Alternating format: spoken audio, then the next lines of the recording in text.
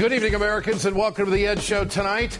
President Obama has the entire Republican Party on the ropes. The Republicans are just taking one cheap shot after another trying to get back into the fight. This is the Ed Show. Let's get to work. What did you call uh, President Obama? I called him Captain Schettino, you know, the captain that fled the ship uh, in Italy. The Obama derangement syndrome is being taken to a whole new level. Get the hell out of the United States of America. Melissa Harris Perry and Dr. James Peterson are here with reaction. The fight for Florida is ending with a flurry. Conservatives are going to come together and decide they do not want a Massachusetts liberal uh, to be the Republican nominee. The Speaker has been attacking me all over the state in ways that are really extraordinary. The latest with E.J. Dionne and Krystal Ball.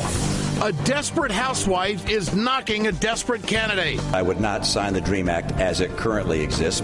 Bill Burton and Joan Walsh on the Republican problem with the Latino vote. And the fight for fairness is headed to the floor of the Senate. Robert Reich on today's big news for the Buffett rule. Good to have you with us tonight, folks. Thanks for watching. Newt Gingrich is taking a pounding in Florida. He's been outspent by Mitt Romney five to one, and his poll numbers, well, they have taken a dive. But even Gingrich knows what kind of red meat the conservative Republican audience really wants. And it says something very, very important.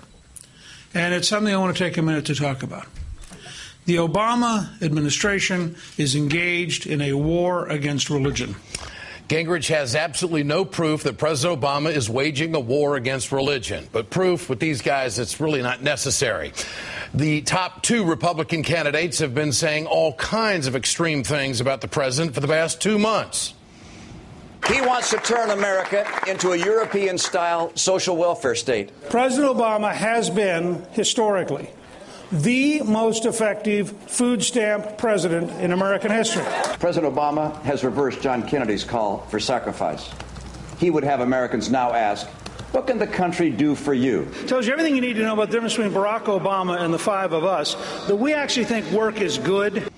This extreme rhetoric is at the heart of the GOP. Now it's the head of the Republican Party. He goes on television this weekend and compared President Obama to a man accused of manslaughter.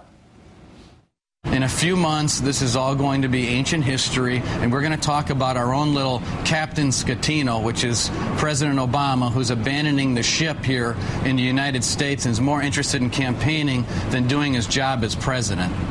What, what did you just say? What did you call uh, President Obama? I called him Captain Schettino, you know, the captain that fled the ship uh, in Italy. That's our own president who's fleeing the American people and not doing his job and running around the country and campaigning. The captain of the Italian cruise ship faces criminal charges in the deaths of at least 17 people. He is accused of abandoning the ship. Even people within the Republican Party said Reince Priebus was out of line with his comments. But he defended himself on Fox News today. It's ridiculous, Megyn. The analogy was made, and it was an analogy of leadership, that in a time of crisis, in a time of crisis, this president is leaving the White House and campaigning nonstop all the time. I think it's pretty clear. Actually, it was uh, paralleling the alleged criminal act of a ship captain. And that's what the head of the grand old party thinks of the President of the United States. They have no boundaries, they'll go as low as they have to go. Obama derangement syndrome is at the top of the Republican Party, and it's trickling all the way down. Remember this photo from last week with Arizona Governor Jan Brewer shoving her finger in the president's face? Well, she said she felt threatened. But now, Brewer, you know what she's doing? She's fundraising off the picture. In fact, her PAC website proclaims, I was telling him one more year. That's not what she was telling the media. She was telling the media that she felt threatened. Do people talk like that in an aggressive manner if they feel threatened? The Republican Party is creating an alternative reality to bash the president. They say untrue things about the president in a very tasteless manner, tasteless analogies to do what? Fire up the base? But you see, uh, there's one thing about all of this it's not working on the majority of the American people. President Obama's approval rating Holy smokes. Look at that. It's going up. A recent Washington Post ABC News poll shows that President Obama is now at a 53% approval rating. It's his highest approval rating since April of 2010. Even right wing pollster Rasmussen has President Obama at 51% approval rating. These extreme attacks by Republicans are happening because the president was effective in the State of the Union address last week, and this is the only way they know how to combat it. He was effective because he had the facts on his side. In the six months before I took office, we lost nearly 4 million jobs. And we lost another 4 million before our policies were in full effect.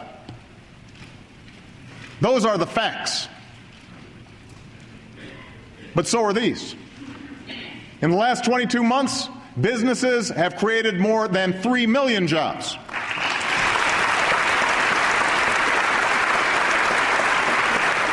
Ah, but some Republicans out there, they want you to leave the country if you support him. The Republicans will attack this president from now all the way to Election Day. They won't back off but their strategies need to be based in reality, facts. The American people will not respond well to these extreme attacks, and the polls are showing it early on. Get your cell phones out. We want to know what you think. Tonight's question Will Republican lies about President Obama work? Text A for yes, text B for no to 622639.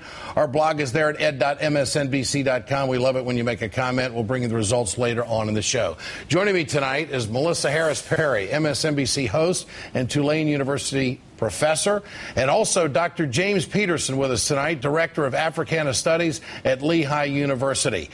Uh, Melissa, this is uh, uh, for the head of the Republican Party to compare the President of the United States to an alleged criminal. Uh, possibly facing, man, you know, man, manslaughter. I mean, how low will they go? Well, what I really appreciated about the, the introduction here Ed, was the point that, you know, on the one hand, we have the rhetoric of of GOP candidates and now of the party itself. On the other hand, we have the choices being made by the American people. And I think we have to be really careful about getting too anxious. Should he apologize? I, I, don't think so.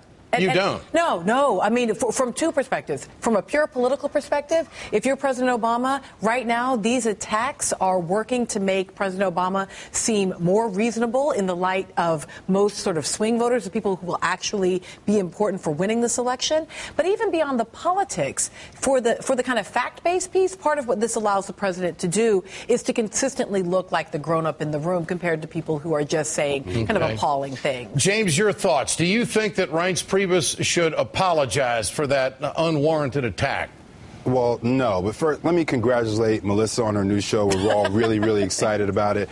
Uh, in terms of Reince Priebus, I mean, no, there's no need for an apology unless he wants to have more media time to come out and talk to the media about these things. Melissa's absolutely right. The American people understand what the choices are that we have to make going forward. And look, I'm a literary guy. I love navigation analogies, but this one just doesn't stick. The president is out on a so-called campaign trail. What is he talking about? New energy policy, new job policies. He's talking about the things, the urgent things that this country needs But what about the respect of the office? The head of, uh, of, uh, of the GOP is comparing this president to a, an alleged criminal. You're right, and, you don't think that deserves it, any it, kind of, I, of, of, response that, well, listen, maybe I went a little bit too far on that. You know, I, I, so James, you'll, you'll appreciate this. I'm, I'm reading right now um, uh, in the Jeffersonian era because I'm teaching a class on America's First sure. Ladies and we're reading about Jefferson. Sure. Man, you want to talk about people who said insanely over the top right. things about a president. Now, some of them were true, but some of them were just completely over the top. I just want to point out this has been part of American rhetoric,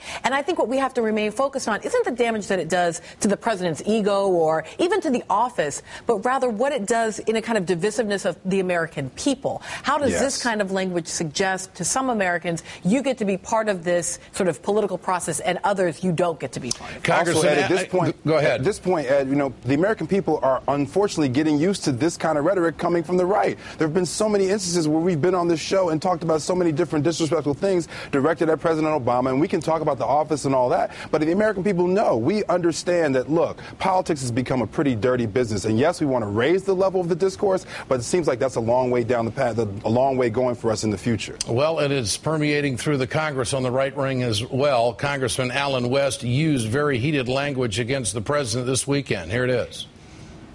And we need to let President Obama, Harry Reid, Nancy Pelosi,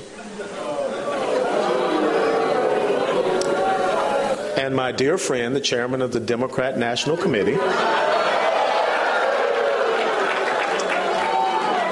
We need to let them know that Florida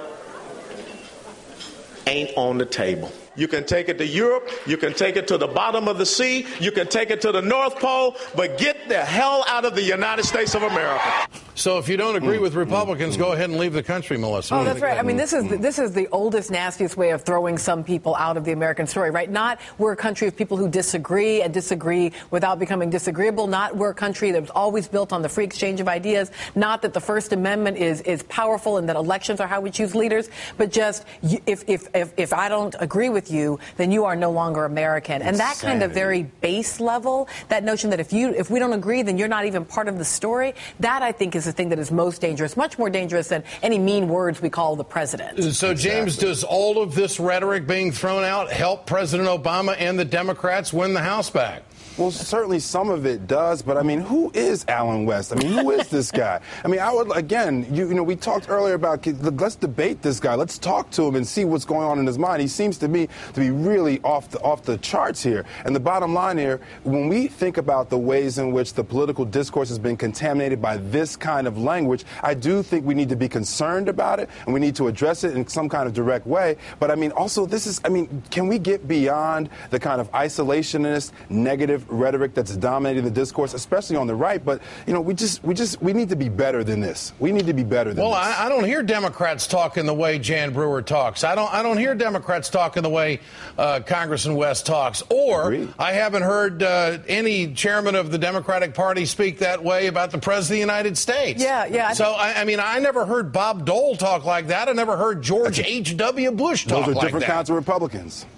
Well, well, it, I mean, it always feels to me a little bit like desperation. Like this is this is yes. a Republican Party that that sees itself and its base slipping away. That has that has narrow. It's kind of painted itself into a corner with its anti-immigrationist, anti-woman, yeah. anti-reproductive rights, now anti-young people having jobs. I mean, they're they're against so many people that the small slice of the electorate to whom they're trying to appeal right now is not sustainable over the long time. That's long right. term, you feel this kind of panic coming up. But Allen West has taken America, love it or leave it that there is no room for debate. If you don't think the way we think, then you should leave the country, and we want you to leave the country. Listen, James, what is the next step? A confrontation? The next step for Allen West is to do a history lesson to understand there were people in this country that were saying that about people that look like him.